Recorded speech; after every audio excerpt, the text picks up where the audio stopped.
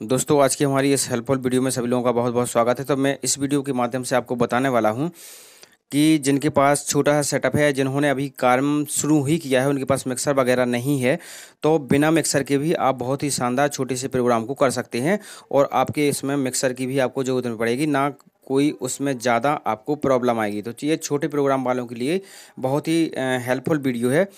तो उसमें जैसे आप छोटे प्रोग्राम करते हैं तो उसमें आपको प्रॉब्लम क्या आती है? प्रॉब्लम आपको आएगी, ढोलक को आप अच्छे से सेट नहीं कर पाएँगे। और जो वॉइस है तो वो उतनी क्लियर नहीं आएगी, लेकिन आपका प्रोग्राम आसानी से हो सकता है और आपको कोई भी दिक्कत इसमें नहीं आएगी। तो मैं इस वीडियो के माध्यम से आपको बताने वाला हूँ कि जो आप सेटअप दिख रहे हैं, आपके पास दो स्पीकर हैं और एक एम्पली है और आपके पास कोई चैम्बर है तो ये लगा के आप बहुत अच्छे से प्रोग्राम कर सकते हो और ढोलक की आवाज़ बहुत ही जानदार आवाज़ इसमें आपको मिलेगी, कोई दिक्कत इसमें नहीं आएगी। आपको इसमें सिर्फ़ एक सेटिंग की ज़रूरत है, मैं सेटिंग इस वीडियो पे बताने वाला हूँ। तो वो सेटिंग हमारी क्या है? जो सेटअप आप लगा के रखे हुए हैं हमने तो इसमें देखेंगे आप कि जो हमारा बेस और ट्रैवल जो हमारा बेस और ट्रेवल होता है, ये हमारे लिए बहुत ही मेन होता है। इसका हमें ध्यान रखना पड़ता है कि जब हम मिक्सर नहीं लगाते हैं तो हमें बेस और ट्रेवल को कैसे सेट करना है और ताकि हमारे जो बोकल वाले माइक हैं, बोकल वाले भी जहाँ पे आप लगाए हुए हैं बोकल वाले माइक तो उनकी आवाज़ भी अच्छी आए और हमारा ढोलक का बेस भी अच्छे से आ जाए। तो उसके लिए मैं आपको वो सेटिंग बताने वाला हूँ, किस तरह से आपको सेटिंग रखनी है। तो ये हमारा जो फोर्टी है हमारा डी मैक्स फोर्टी फोर जो आहूजा का है तो ये हमने इको रिवर्ब इसमें लगाया है। तो इसके साथ मैं इसके सेटिंग करके आपको बताता हूँ। तो ये इको रिवर्ब की सेटिंग मैंने आपको चैनल पर बता दी है डली हुई है। तो इसमें अभी आप देख सकते हैं इस तरह से आप सेटिंग करके।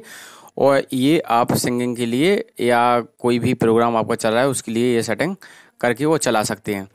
तो इसमें आप देखेंगे सबसे पहले हमें जो प्रॉब्लम है कहाँ पे है, सबसे पहले हमें बेस को देखना है कि जो हमारा बेस है ढूला का बेस इसमें आप नहीं बना पाएँगे एम्पलीफायर से और बनता नहीं है तो उसके लिए बनाने के लिए आप क्या करेंगे? क्या सेटिंग आपको रखनी पड़ेगी ताकि आपका बेस बहुत ही जानदार आए और ऐसे ही लगेगी जैसे ही मिक्सर लगा हो। तो बिल्कुल ऐसे ही बेस आपको लगेगा कि मिक्सर से बेस आ रहा है मिक्सर लगा हुआ है, कोई भी इस चीज़ को समझ नहीं पाएगा और आपका काम चलता रहेगा।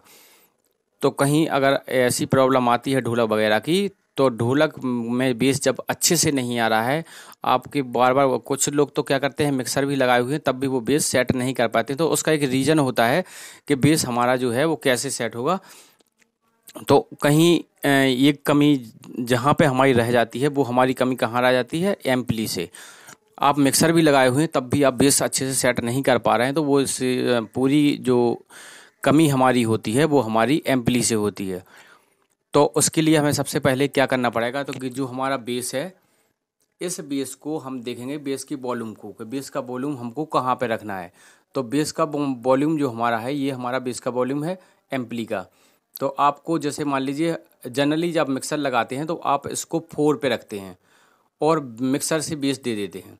तो यहाँ जब हम फोर पे रखते हैं तो यहाँ पे जो हमारा है, ये मिक्सर के लिए ठीक है, लेकिन आपके पास मिक्सर नहीं लगा हुआ है। तो अब हम इस वॉल्यूम को कहाँ करना पड़ेगा? मैं इस वीडियो में आपको बताना पूरी वीडियो को आपको देखना है, कहीं भी आपको वीडियो स्किप नहीं करना। तो उसके लिए आप ये, मैं आपको सेटिंग बताता हूँ, ढोलक की आवाज़, आपका बेस बहुत ही अच्छा आएगा। तो उसमें आपको बेस को बढ़ा के देखना है। यहाँ से बेस बढ़ाते जाएँगे बढ़ाते जाएँगे, यहाँ तक लगभग आपका बेस आ जाएगा। तो ढोलक में बहुत ही अच्छी क्लियर आवाज़ यहाँ से आने लगेगी। तो आप यहाँ से इसको ऐसा बेस कर सकते हैं। अब प्रॉब्लम होगी कहाँ? अब प्रॉब्लम होगी कि ये बेस जाएगा तो सभी माइकों में जाएगा। जो वोकल के माइक भी हैं, क्योंकि इसमें कोई मिक्सर नहीं लगा है तो आप अलग अलग उसको सेट नहीं कर सकते। तब आपको प्रॉब्लम आएगी ये बेस सभी माइकों में जाने लगेगा। तो यहाँ से हम इसको फिर क्या करेंगे? ट्रेवल देना है हमको। तो यहाँ से हम ट्रेवल देंगे। और ढोलक की जो चांटी है, हमारी चांटी भी यहाँ से इसको बेस देंगे तो चांटी भी हमारी मोटी होने लगेगी। तो यहाँ से हम फिर ट्रेवल को बढ़ाते हैं और ट्रेवल को बढ़ाते जाएँगे जितना में हमारी चांटी ठीक आ रही है और सभी गाने वालों की आवाज़ भी ठीक से आ रही है। तो यहाँ हम इस तरह से इसको सेटिंग को रख सकते हैं। अगर गाने वाले बोल रहे हैं कि थोड़ी पतली आवाज़ करो तो आप और भी इसको बढ़ा सकते हैं, यानी ट्रैवल को और भी थोड़ा बढ़ा सकते हैं। तो इस तरह से हम ट्रैवल को सेट करेंगे। वो जो हमारा बेस है बेस ढोलक का अच्छे से बेस नहीं आ रहा है, दमदार बेस नहीं आ रहा है तो आप यहाँ से मशीन से बढ़ाएँगे। और जो मिक्सर वाले हैं, जो मिक्सर भी लगाते हैं तो कभी कभी मिक्सर से बेस अच्छे से सेट नहीं हो पाता है। तो उसका रीज़न किसी किसी मिक्सर में और एम्पलीफायर में ये डिफरेंस होता है कि किसी का फोर पे करने पे वहाँ से मिक्सर से बेस बहुत अच्छा आ जाता है। लेकिन नहीं आता था तो किसी को आपको बेस इसमें बढ़ाना भी पड़ेगा, तब आपका बेस आएगा। तो कभी कभी सभी मिक्सरों का जो डिफरेंस होता है, वो अलग अलग होता है तो किसी में आपको अगर ढोलक का बेस नहीं बन रहा है अच्छे से, एक दमदार बेस नहीं आ रहा है तो आप यहाँ से इसको बेस को बढ़ा के और यहाँ से उसको सेट कर सकते हैं। क्योंकि आप मिक्सर से कितना भी करोगे, अगर मशीन से बेस कम है तो आप उतना अच्छा बेस सेट नहीं कर पाएँगे। तो इसलिए आपको इस चीज़ का ध्यान रखना है कि हमको अगर बेस अच्छे से नहीं बन रहा है और सामने वाला जो बजाने वाला है, वो संतुष्ट नहीं हो रहा है। तो समझ लीजिए कि आपने अच्छे से मिक्सर से भी कर दिया है, तब भी नहीं हो रहा है तो आप यहाँ से इसको फिर बेस बढ़ाएँगे मशीन से, तब आपका बेस बन जाएगा। तो बहुत ही शानदार फिर बेस आपका आने लगेगा। लेकिन ये वीडियो जो हमारी है, ये बिना मिक्सर की है तो बिना मिक्सर के भी आपको इन वॉल्यूम का दोनों का ध्यान रखना है। इसमें आपको ट्रेवल थोड़ा ज़्यादा देना पड़ेगा, क्योंकि ये मोटा करेंगे, वो यहाँ ट्रेवल नहीं देंगे, तब आपका फिर आवाज़ बहुत मोटी आएगी, इसलिए यहाँ से ट्रेवल को ज़्यादा भी बढ़ाना पड़े तो उसको ट्रेवल को हम ज़्यादा भी बढ़ा देंगे। तो इस तरह से इसको करके और हम बहुत ही शानदार ढोलक की चांटी, ढोलक का बेस और गाने वालों की आवाज़ को मैनेज कर सकते हैं। हाँ ये ज़रूर है कि मिक्सर एक चीज़ अलग है मिक्सर की क्वालिटी अलग होती है, लेकिन जिन भाइयों के पास ये नहीं है तो इससे ही काम चलाना है तो इससे वो आसानी से काम चला सकते हैं। तो इस तरह से आप इस वीडियो के माध्यम से समझ गए होंगे किस तरह से आपको ये सेटअप रखना है। अब मैं वीडियो में आपको चेक करके बताता हूँ कि किस तरह से कैसी आवाज़ हमारी जो है वो आ रही है। तो मैं इसकी टेस्टिंग करके भी आपको बताता हूँ। तो ईको की सेटिंग देख लीजिए। ईको की सेटिंग मैंने इस प्रकार से रखी हुई है इसमें।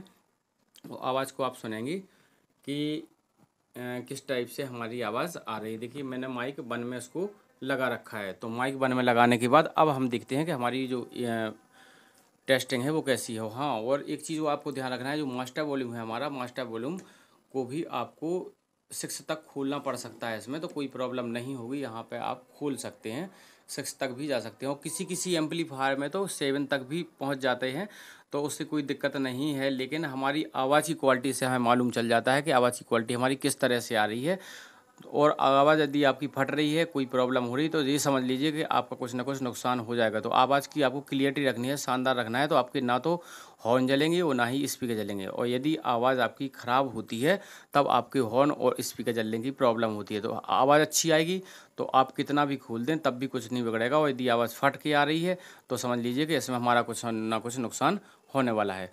तो चलते हैं, इसकी टेस्टिंग देख लेते हैं। मैंने दो स्पीकर लगाए हुए हैं तो टेस्टिंग के लिए तो यहाँ पे हेलो हेलो हेलो स्पीकर पास में ही लगे हुए हैं स्पीकर बहुत पास में लगे हैं इसलिए बिसल कर रहे हैं क्योंकि देखिए डिफरेंस तीन चार फुट का है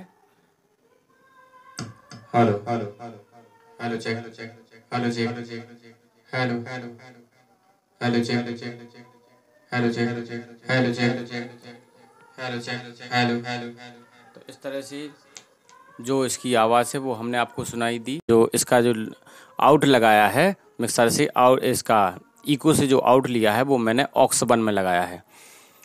ठीक है तो आपको ऑक्स वन में इसका यूज़ करना है। ऑक्स वन के अलावा इसमें जैसे जो रोलैंड का D X forty four Roland का जो डी सी फोर्टी होता है तो डी सी फोर्टी में आगे लगाते हैं माइक में, पीछे भी लग जाता है।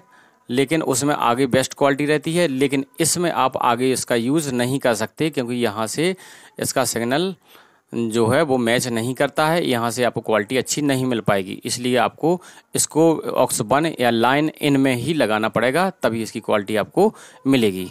तो और मिलते हैं हम नेक्स्ट वीडियो में, तब तक के लिए गुड बाय जिन भाइयों ने अभी सर चैनल को सब्सक्राइब नहीं किया है तो प्लीज़ चैनल को सब्सक्राइब ज़रूर करिए। यदि आपको वीडियो अच्छा लगे तो वीडियो को लाइक करना ना भूलें। Thank you